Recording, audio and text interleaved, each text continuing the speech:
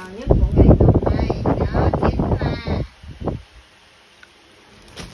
túi. Túi gần tàn.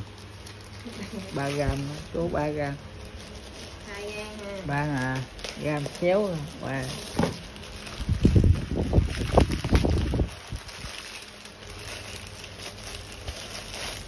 hồi nãy khẩu trang chụp rồi không